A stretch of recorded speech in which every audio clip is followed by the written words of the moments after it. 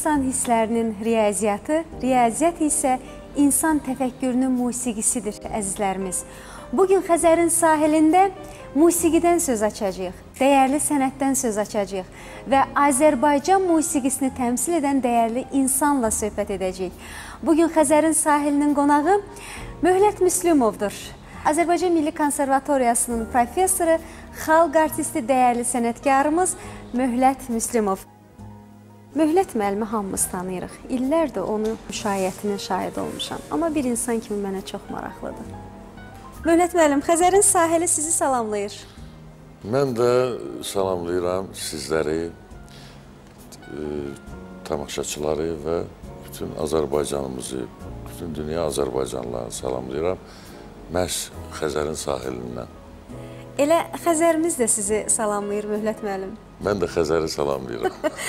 Əziz tamaşaçılarımız, Möhlət müəllimə veriliş öncəsi biraz zəng etdim ki, Möhlət müəllim, biraz yubana bilərsiniz, e, problem deyil. Möhlət müəllim dedi, yox, mən vaxtında gələcəm, hələ biraz da tez gələcəm. Xəzərlə biraz e, həmsöhbət olacam. Elə Xəzərin görüşünə gəlirəm dedi və Xəzərin ətrafında Möhlət müəllim bir xeyli vargəl etdi. Mən sevirəm Xəzəri, çünki Xəzərin sahilində böyümüşəm doğrudan da dənizə baxmağı, üzməyi bacarmasam da, amma dənizə e, baxmağı, seyr eləməyi böyük zövq alıram, ləzzət alıram, ilhamlanıram Xəzərdən.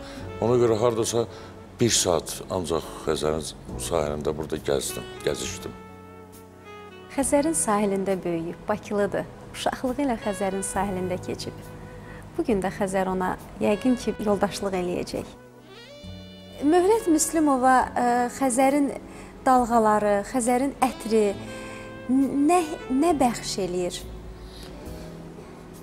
Çılğın Xəzər Möhlət Müslümova yaxın dostu, ə, e, sakit, təmkinli Xəzər Möhlət Müslümovun ruhunu daha yaxşı anlayır. Mən hər iki tərəfini sevirəm onun.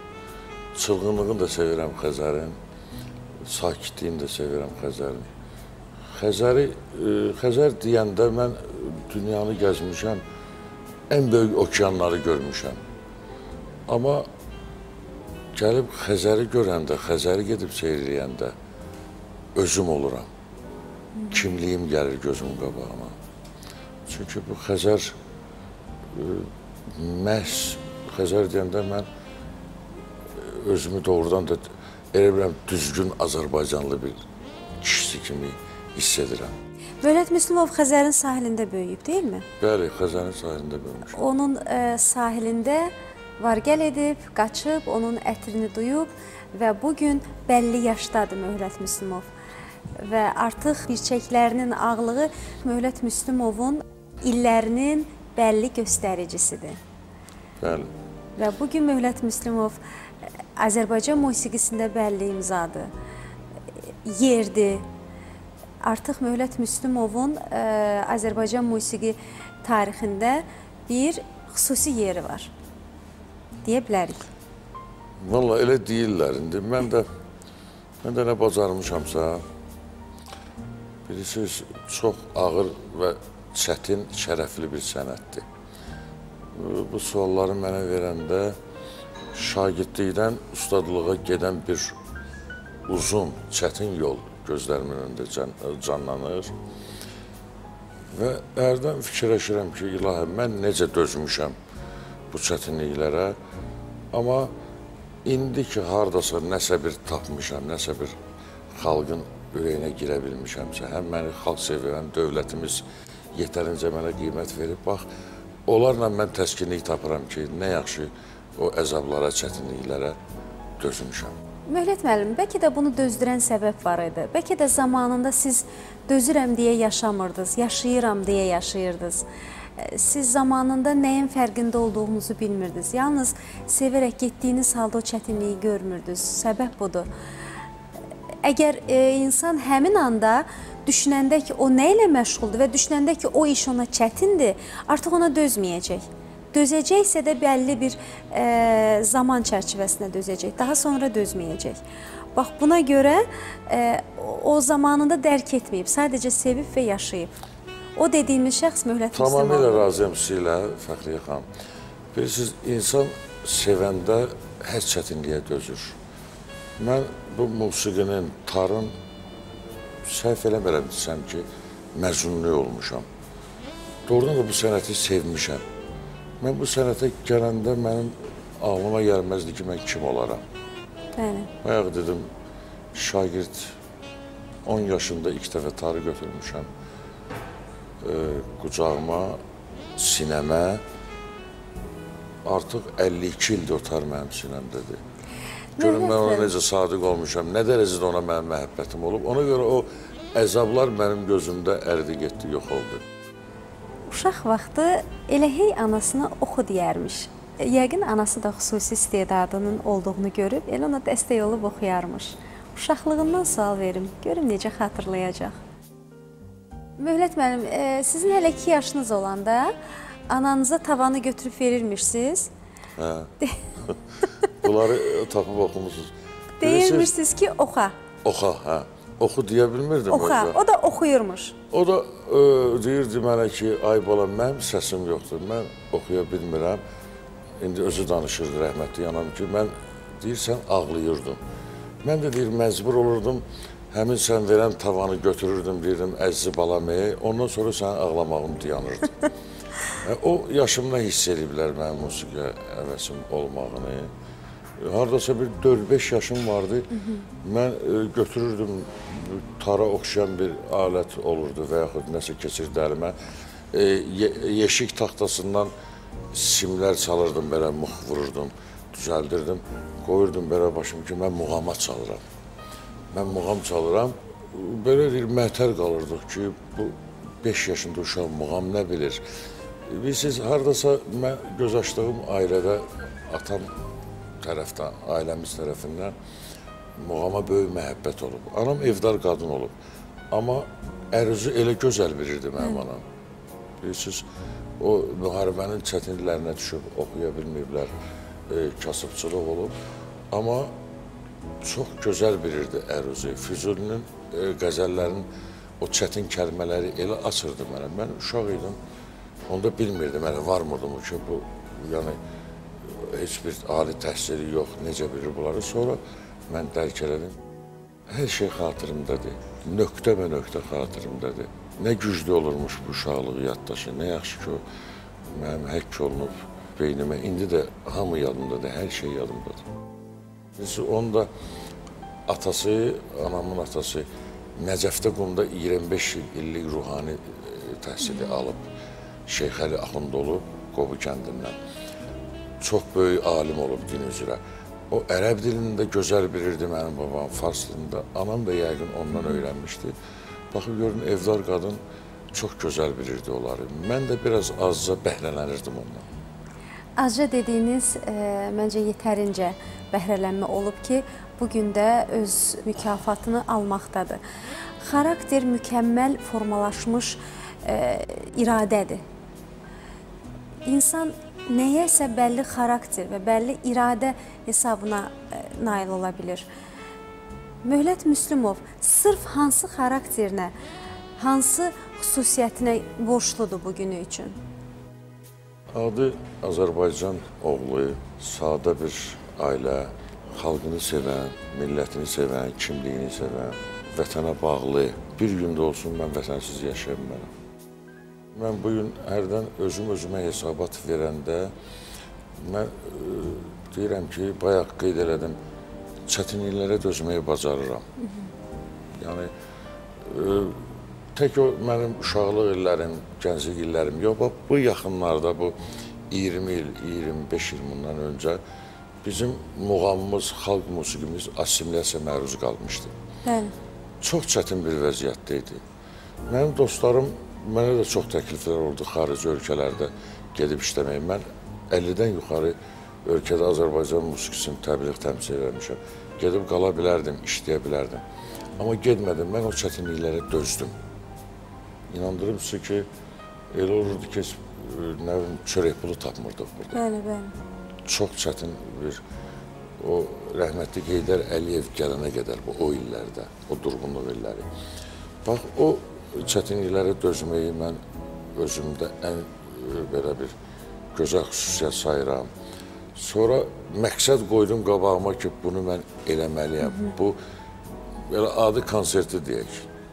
Boş əllə də heç bir maaş, qonorar yox. Böyük ansamblın mən rəhbəri olmuşam. Yəni indi hal-hazırda da rəhbəri yerəm o Əhməd Bakıxanov adlı ansambl. 22 ildir o ansamblı mən maaşsız qonorarsız saxlamışam. Ən böyük tədbirlərdə. O nə idi mənim inadkarlığım, məqsəd qoydum qabağıma ki, yenə də mən onu bağlayıram sənətimə, sevgi ilə. Və bunları mən özümə hesabat verəndə deyirəm ki, ilahi, nə yaxşı ki, mənə o səbri vermirsən, mən bacarıram bu çətinliklərə sinə gəlməyi. Möhlət müəllim, ümumiyyətlə sizin sizə bəlli e, kömək olub, bəlli dəstək olub və siz tarix ifaçısı olaraq bu gün Azərbaycan incəsənətinə bayaq qeyd etdiyim kimi e, artıq fəaliyyət göstərirsiniz və siz bütün övladlarınızın öhdəsindən gələ bildiniz bu sahə üzrə, amma bir Rüstəmin öhdəsindən gələ bilmədiniz. Rüstəm sizin sahənizi davam etdirdi və bu gün konservatoriyanın artıq tələbəsidir, sonuncu kurs Magistr. tələbəsidir, bəli, eləmi? Bəli. Bilirsiniz, e, mən istəmirdim heç biri musiqiçi olsun. İkisinin öhdəsindən gəldim, qoymadım musiqiçi olsunlar, amma Rüstəmlə bacara bilmədim. Mən e, onu bir neçə və qeyd eləmişəm. Mərakeşdə qastrolda oldum bir hardasa iki ay. O elə vaxta düşdü ki, məktəbə qabuldur. Gəldim, gördüm ki, atam əlindən tutub aparıb onu musiqi məktəbinə qoyub. Artıq mən, e, bizdə də elə bir qayda qanun var ki, atan dediyi sözdən sonra ikinci bir söz deyə bilməzdik. Heç nə danışmadım. Dedim, hələ ki, o sənliyi deyil, mən aparıb qoymuşam onu məktəbə. Elə də oldu, oxudu, qutardı, indi hal-hazırda işləyir. Oğlu Rüstəm də burdadır. Kənardan söhbətimizi dinləyir. Tarı da əlindədir. Elə bir o tarı götürüb ifa eləsə bu gün bizim üçün ən gözəl hədiyyə olar. Hal-hazırda isə burdadır. E, o da sizinlə ayrıl ayrılmır, sizin yanınızdadır və tarınız da onun əlindədir və bu gün e, Möhlət müəllim e, çox sadiq dostları ilə burdadır. Oğlu ilə, onun sənətini davam etdirən oğlu ilə və tarı ilə. Biz bax bu tarı görürük, Rüstəmi də görürük və istərdik ki, bu tarın şirmai tellərindən biz bizim ruhumuzu Böyük dinləndirəsiniz bu Xəzərin Böyük sahilində. məmnuniyyətlə. Biz, e, biz Rüstəmə də uğurlar diləyirik.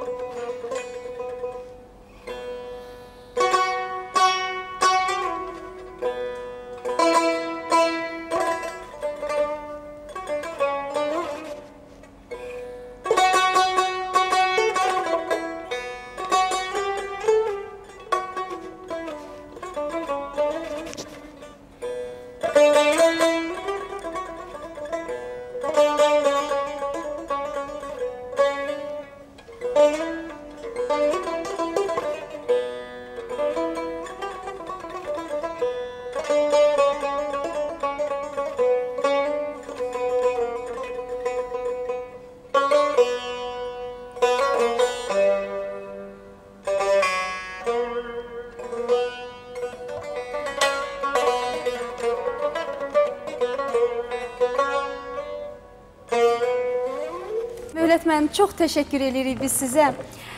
Xəzərimiz də dinlədi bu gözəl tarın ifasını. Solo ifanın bir başqa yeri Mən var. elə Xəzərə uyğun birdən bədahətən pıçıldaşın ləpələr. Çox gözəl sözləri də var bunun. Bunu elə özüm ifa elədim ki, Xəzərin mən Xəzərin sahilində söhbət eləyiriksə, qoy elə bu mahnı da səslənsin.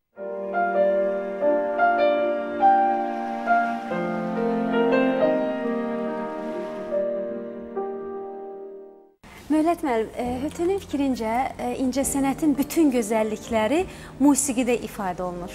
Bəli. Musiqi ümumiyyətlə tərcüməyə ehtiyacı olmayan bir aləmdir.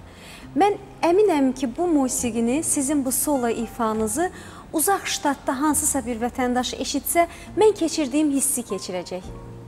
Bax, mən buna əminəm və bu mənada musiqi o qədər gözəl bir aləmdir və siz o qədər bu aləmin xiridarı olaraq bu musiqini gözəl ifadə edirsiniz ki, e, yəni bu, bunu başqa sözlərlə ifadə etmək mümkün deyil. Həm də müəllimdir, pedaqoq kimi xeyli tələbələri var. Görürsən tələbələrindən razıdırmı? Yəqin ki, razı olar. Və siz eyni zamanda e, deyirlər hansısa savada köklənməyən musiqi gözəl bəzənmiş, lakin ağılsız bir qadına bənzəyir. Bu mənada savad və mükəmməllik musiqidə şərtdir. Çünki o birbaşa ruha sirayət edir. Pedaqoq olaraq da siz konservatoriyada dərs deyirsiniz və sizin bir sıra tələbələriniz var. Bax mən istərdim ki, bugünkü tələbələr nə dərəcədə qənaət bəxşdir və bədahətən sevərəkdənmi gəlirlər, yoxsa ki, müəyyən prosedurları keçərək bunu ifa etmək üçün e, bu sənətdədirlər? Tələbələrimdən çox razıyam. Allah saxlasın, Allah yar olsun onlara bu çətin yolda. Onlara uğur diləyirəm. Bir tarzanın yetişməyinə 20-25 il vaxt gedir. O da əgər yetişsə. Bəli. Bayaq qeyd elədim, əvvəla böyük məhəbbət olmalıdır, sevgi olmalıdır bu alətə. İkincisi, stimul olmalıdır. Hı -hı. Mən sizə inandırım ki, keçmişdə də vardı. Yəni bizim mənim yaşlarım da sevirdilər bu sənəti, sevib gəlirdilər. Gözəl e, tarzənləri görürdülər, efirlərdə, televiziyalarda gəlirdilər. Amma bu ki, son illər var, həddindən artıq e, müraciət edənlər çox tutara. Və mən bu gün bizim Milli Konservatoriyada e, dərs deyirəm. Ondan əvvəl uzun illər Asır Hüseynallarla musiqi məktəbində dərs demişəm. Böyük bir tarçalanlar ordusu yetişdirmişəm. Elələri vardı ki, dözə bilmədilər, ayrıldılar bu sənətdən, atdılar bu sənəti, keçdilər başqa sahəyə. Amma bunu biz bu gün qeyd eləməliyik. Mənlə olsa bunu hər gün qeyd eləyərəm ki, son illərdə bizim muğamımıza verilən qiymət. Bəli, bəli bizim tarımıza verilən qiymət. Əvvəl biz e, gedirdim mən dünyanın hər yerinə e, eşidəndə ki, başqa millətlər də deyir ki, tar bizimdir, əsəbləşirdik. Kitablar apardım burada tar haqqındakı e, Sadıqcam onu dizdən siniyə qaldırıb, böyük inqilab eləyib tarda. İndi şükür Allaha UNESCO artıq təsdiq elədi ki, tar Azərbaycana aiddir. Tar, tar Azərbaycanın şah alətidir. Ona görə biz bizim birinci xanımız Mehriban xanıma minnətdar olmalıyıq. Dövlət başçımıza minnətdarıq ki, muğamımızı göylərə qaldırdılar. Analoqu olmayan bir qiymətdir bu.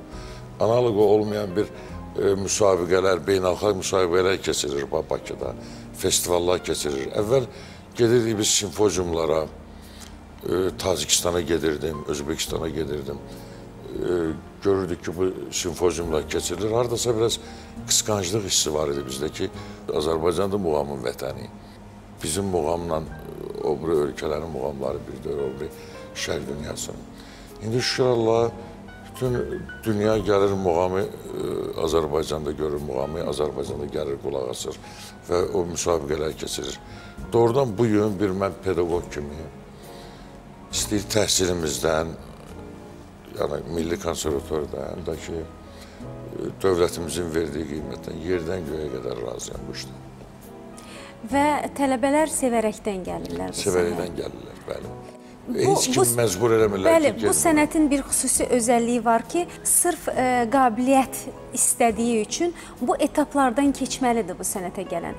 Bu mənada ə, e, hesab edirəm ki, məhz bunu sevənlər və müəyyən prosedurlardan keçib bu sənətə gələnlər yetərincə öz yerini tutacaq. Artıq hansı ə, e, mərhələdə ki, olacaq bu individualdır. Təbii ki, əgər sevib gəlibsə, ə, bu özdə görürlər ki, stimul var, Şükür Allah, bu da bizim televiziyalarımız muğamı e, təbliğ eləyirlər. Yəni, bunlar da görürlər bunu, bu cavanlar. Gəlir gənc, öyrənir, yəni böyük sənətkarları görürlər televizorda, biraz da ruhlanırlar. Bilirsiniz, gör götür dünyasıdır da. Biz də görüb götür, biz də kimlərisə görmüşük. Elə məni qabaqladınız, ə, Möhlət müəllim. Bu gün Möhlət Müslümov bugünkü Möhlət Müslümov üçün kimə borcludur? Müəllimi olaraq ə, kimdir onun müəllimi, ustadı? Mənim e, bilirsiniz, bayaq qeyd elədim, mən ən əvvəl valideynlərimə borcluyam ki, mənə bu sənəti 2 yaşından, dil açandan Tamam. Sevdirdilər. Sonra mən göz açdım, Bəhram Mansurovu gördüm evimizdə. E, Hacı Məmmədovu gördüm. Əhsən Dadaşov mənim idealım idi. Həbib Bayramov, Məmməd ağa Muradov, yəni karfeylər olublar bunlar. Və öz mənim müəllimim, ilk mənə tar tutmağı öyrədən musiqi məktəbində Nadir Hüseynov. E, konservatorda Asif Sinalda mənə dərs demiş əməkdar insənat xadimi professor Məmməd ağa Kərimov. Bunlar mənim sırf müəllimlərim olublar. Amma mən Səyid Üstəmovdan bəhrələnmişəm. O müəllimlərim Məmməd ağa Kərimov, mənə ilk tar tutmağı öyrədən Nadir Hüseynov. Təbii ki, mən e, bütün karifeyləri gördüm. O cümlədən mən bu gün Adil Gərayın adını çəkməliyəm. Səyid Rüstəmovun adını çəkməliyəm. Süleyman Ələsgərov, bunlar hamısı mənim müəllimlərim olublar. Ümumiyyətlə, mən öz tələbələrimə də bu dəqiqə hal-hazırda deyirəm ki, tək mənlə kifayətlənməyin, tək mənə qulaq asmayın. Gedin, bütün o kimlər olub dünyasını dəyişənlərdən tutmuş ta ki, indikilərəcən. Bəli. Lap cavanlara da bir-birinizə qulaq asın. Adı mən görürsən, ə, tələbə ilə dərs keçirən biz zəif tələbə ilə onun barmağından elə bir iştirik çıxır ki, o çaşır onu düz eləmir, amma görən maraqlı şeydir. Onu biraz o yanım bu yanı düzəldirəm. O tələbədən də mən nəsə öyrənirəm. Amma onu yenidən təkrarlaya bilir. Yenidən təkrarlaram, onun özünə öyrədirəm, deyir müəllim, bu nə yaxşı xal imiş. Deyirəm, elə sən elədin də bayaq bunu. Elədim, maraqlı çıxdı, mən o yan bu yanım bunu düzəltdim, yontadım, öyrətdim sənə. Bax, bu sənət bunu sevir. Bilirəm sözü yoxdur, mən sözü yoxdur bu sənətdə. Bilirəm, dedinsə, əgər bu sənətdə, özlə bu muğam sənətində, bu böyük dəryadır. Mən bu gün deyim ki, mən bu dəryanın gözəl üzgüçüyəm, mən deyəmərəm axı mən bunu. Ayıb olar. Bu gün də öyrənirəm o üzməyi. Bu gün də çalışıram üzərimdə. Mən qorxuram deməyə ki, mən bilirəm bu muğam sənəti. Tələbələrimə də bunu deyirəm ki, çalışın, öyrənin. Nə qədər e, son nəfəsinizə qədər çalışın. Möhlət müəllim, dünyanın bir sıra ölkələrində olmusunuz və konsert proqramları ilə çıxış etmisiniz. Azərbaycan musiqisini təmsil etmisiniz. Bizim tamaşaçı və əcnəbi tamaşaçı. Bunu bir sıra sənətkarlar özünə məxsus qiymətləndirir. Bizim tamaşaçı bir hətta bizim tamaşaçının özünün belə regional fərqləri var. Məsələn, Bakı kəndlərində muğam ifa etmək böyük məsuliyyət tələb eləyir. Orada hansısa səhv etmək olmaz. E, Və e, Azərbaycan tamaşaçısı mənim fikrimcə bir balaca daha məsuliyyətli e, ifanı tələb edir. Çünki o muğamı bilir. Amma əcnəbi tamaşaçıların heyranlığı, amma eyni zamanda da onlara yeni bir nəfəs, yeni bir səs verirsənsə, onun da məsuliyyəti iki qatdır. Bax bu mənada e, əcnəbi tamaşaçı ilə bizim tamaşaçının fərqi sizcə necədir? Bax, mən ə, əvvəl istərdim qeyd edeyim ki, siz Bakı kəndləri, mən ə, Azərbaycanın elə bir regionu yoxdur ki, orada mən tar çalmayım. El şənliyində, konsertdə. Böyük sınaqlar, böyük imtahanlardan keçdim. O, bu, bir el məsəli var, usta şapalağı. O qədər iradlar da tutdular mənə, mənim 20-21 yaşım vardı. Bakı kəndlərində irad da tuturdular mənə ki, bu belədir, gəlirdim, gördüm düzləyiblər. Elə-elə öyrəndim. Amma yəni bu gün təvəzzökarlıqdan kənar da olsa, Azərbaycan hansı regionunda mən tar çalmışamsa, orada 3 nəfər, 5 nəfər də olsa, məni e, sevənlər olub, yəni dinləyənlər olub. Mən hərdən gileylənirdim əvvəl. Bir dəfə bizim böyük şairimiz Bəxtiyar Vahabzadəyə dedim ki, Bəxtiyar müəllim, o e, bu 89-cu ilin söhbətidir. Bəxtiyar müəllim, valla e, qızıl xırdalar, nə edirsən elə, bu adam e, adam tapmır bu malını satmağa, qulaq asmağa. O, mən bir segah çalmışdım, mənə dedi ki, sən segahında təzə iştiriklər tapdım, ged mənə evdə otur bir dənə kaset yaz gətir, mən qulaq asım, dedim, ay Bəxtiyar mənim, kimdir bunu bu dəqiqə istəyən, kim saat musiqiyə fikir verir? Dedi, elə də sən min nəfərin içində əgər səni bir nəfər, iki nəfər başa düşürsə, sən onlar üçün ifa elə. Yəni onları keçəndən sonra mən bu xarici gəlirəm onun üstünə. Mən inandırım ki Almanı, İtalyanı, Amerikanı, e, Fransızı muğama qulaq asıb ağlayanlar görmüşəm. Bəli. Bəli. Ağlayıblar. Bəli.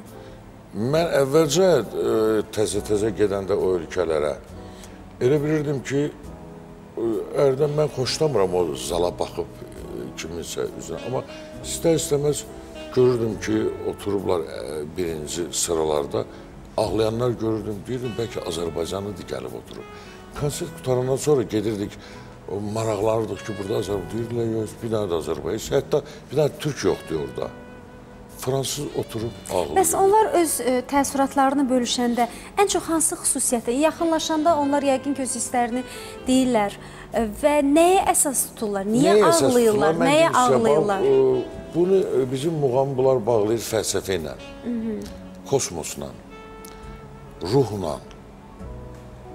Deyir, siz muğam ifa edirsiniz, biz elə bir ki, ruhumuz gəzir göydə, uçuruq göydə. Bax, bizə deyir, muğam dilimizi bilmir. O qəzəl oxuyur, xananda onu bilmir. Yəni o çaldığım düzdür muğamlar orada onlara anotasiya şəklində verilir. Hansı ölkə getdik o dildə ki, indi rast muğamı ifa olunacaq və yaxud şur muğamı. Onun e, qısaca yazılır da anotasiya, şöbələri yazılır. Bəzi məlumatlar verilir. Onu bilir ki, bu bunun adı rastdır. Amma o, o dərinlikləri bilmir axı. Mən məhtəl qalırdım. Sonra bilirsiniz, o konsert qutarırdı, onlarla maraqlı gəlirdi söhbət. Gəlirdilər, onlar tarı alırdılar, soruşurdular ki, e, tarın üzü nədəndir? Deyirdim ki, inəyin ürəyinin pərdəsindən mətər qalırdılar ona.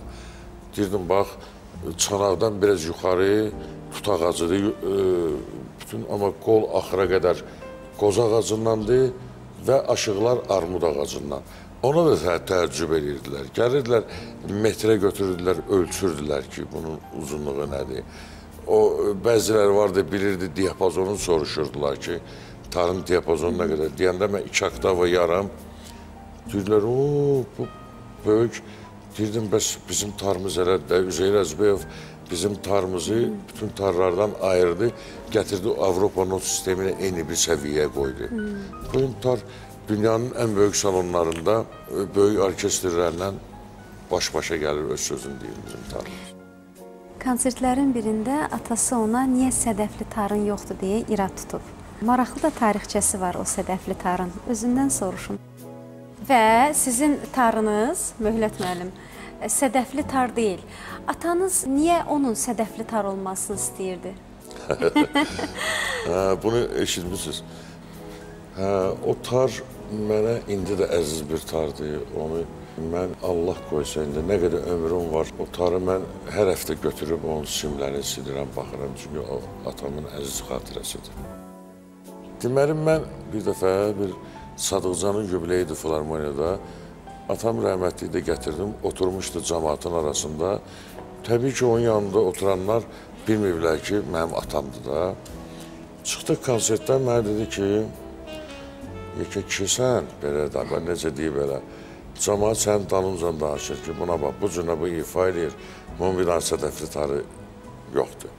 Mən də sədəfli tarı heç vaxt sevməmişəm, çünki nəsə saya tarı sevmişəm də. Ağır gəlir. E, Həm də o ağır, Ağır olur indi biraz da. deyəcəm sənə deyir. Bayaq bir sözdür, düzələ ona oxşayan sözdür. Hə, nəsə mən atamın ə, sözü ilə iradına, hə, mənə irad tutdu ki, pulun yoxdur, pul da verim, get tarva sədəf düzdür.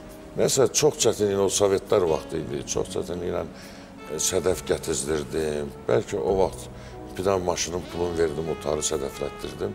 Bu da qədər özü də onun öz aldığı tardır. O tarın səsi batdı. İkinci dəfə təzədən söktürdüm, yığdırdım. Yenə də danışmadı tar. Tar bir küstü məndən. Bəzək, bu dəqiqə asmışam onu evdən, sədəfliyib, bəzək. Bayaq bir söz üzrə, onu mən ağılsız, gözəl qadına bənzədirəm, o tarı. Bəli. Danışmır o tar. Hə, atama dedim ki, baba da sənin arzunla bu tar sədəfləndi. Mən bir neçə il tarsız qaldım. Çox gözəl tardı o. Atamın mənə ilk dəfə aldığı tar. Hayef ki onun səsi batdı indi də mən də evdə bayağı qeyd edirəm. Amma bilirsən ki, olur da yaxşı tərəfli tar olsa, mən də artıq öyrənmişəm və mən saya tarına öz sözümü deyə bilirəm.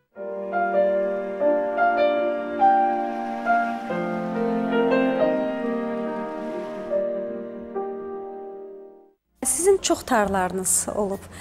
Ümumiyyətlə sizə elə gəlmirmi ki, alət də, istənilən alət, hətta mən deyərdim bəzən saat da insana uyğunlaşmalıdır. Bax bu tarların içində qəlbinizə həmdəm olan, sizin ruhunuza yaxın olan tar hansı tardır və niyə məhz o tardır?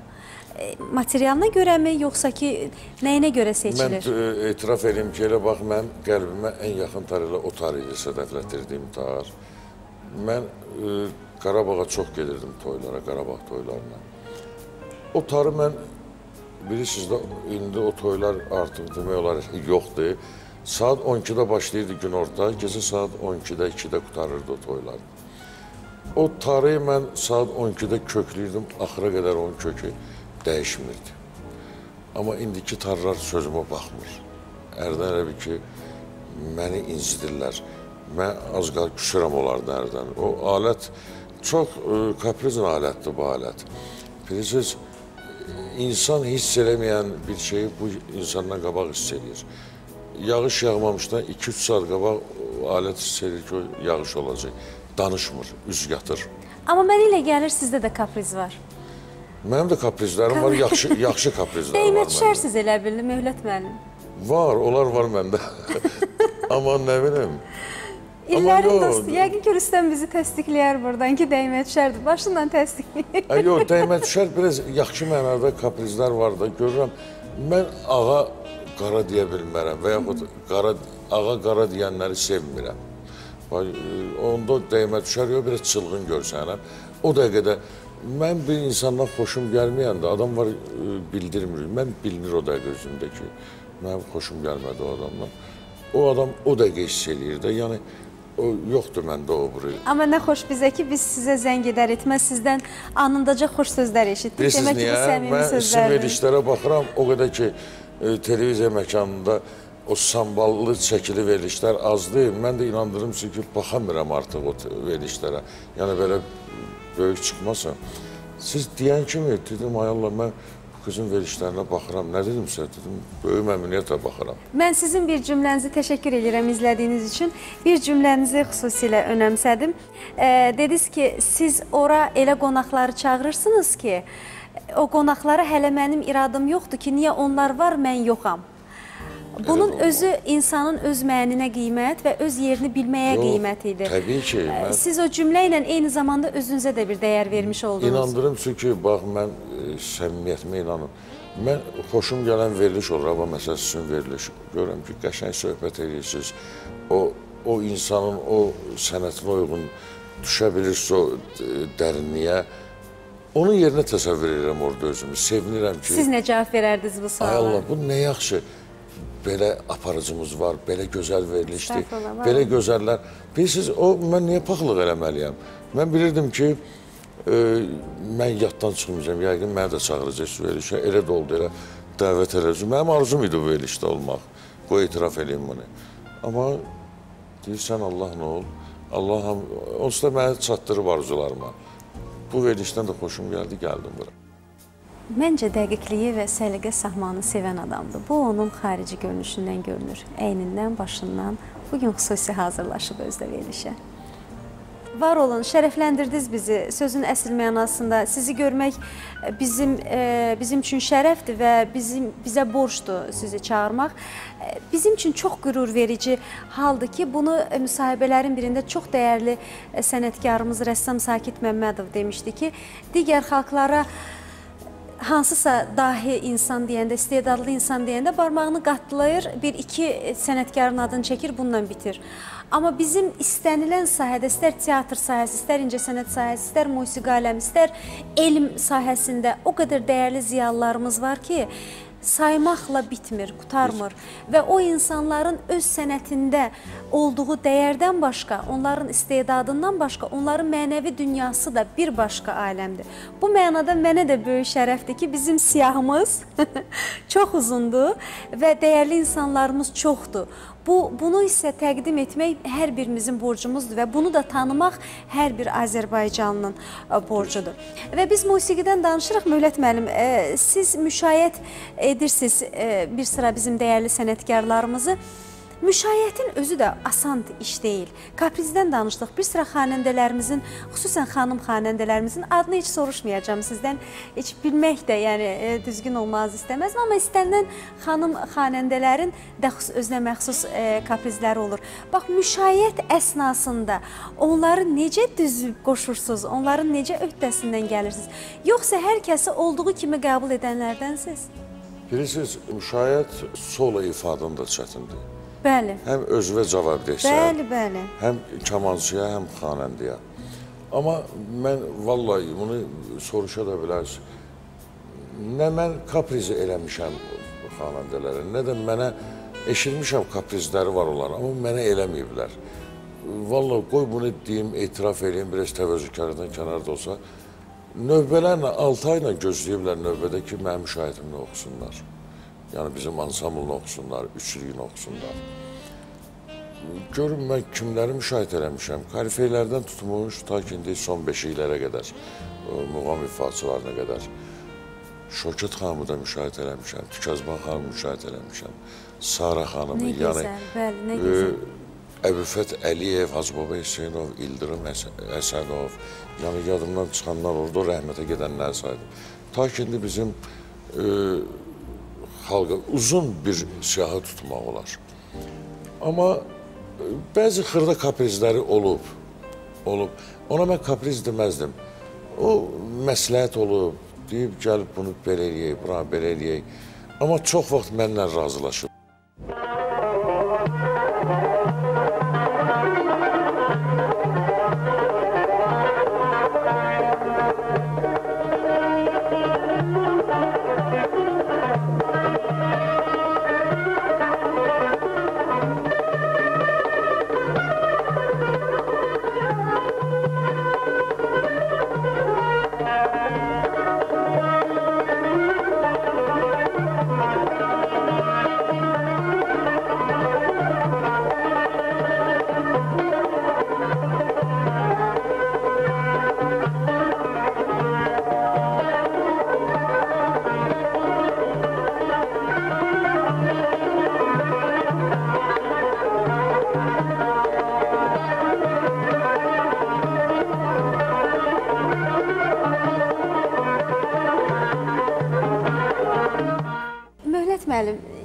Bizim tarifaçılarımız var, çox dəyərli sənətkarlarımız var. Bayaq qeyd etdiyim kimi, Azərbaycan xalqı o qədər istedadlı xalqdır ki, Bəli. məhz bu sənətkarlarından xal deyil.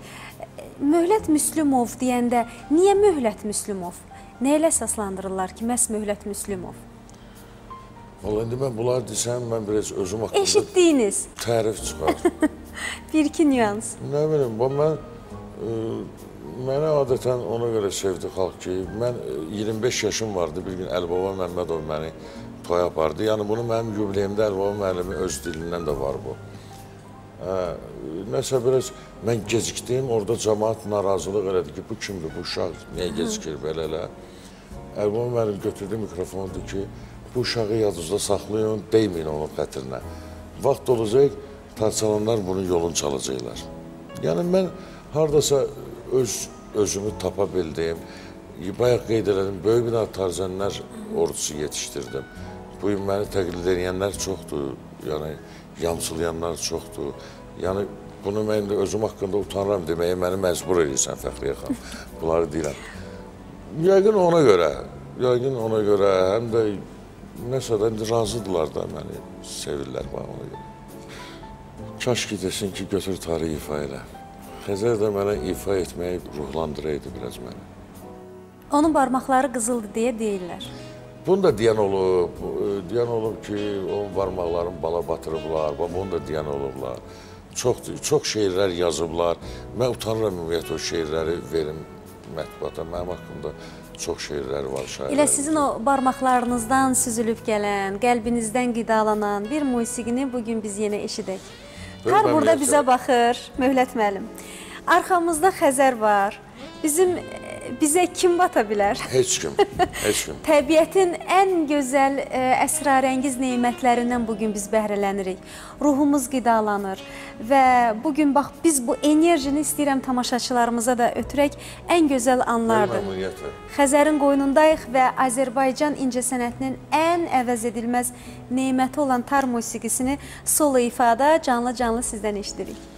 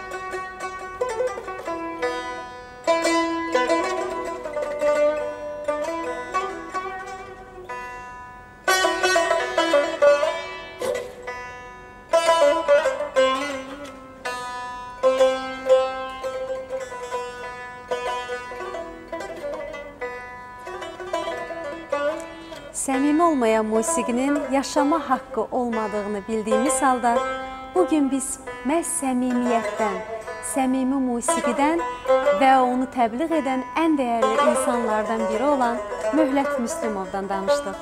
Xəzərimizin sahilində idi və bizim ruhumuzu bu gözəl Xəzərin qoynunda rövnəqləndirdi. Görüşmək ümidi ilə əzizlərimiz Allah amanında.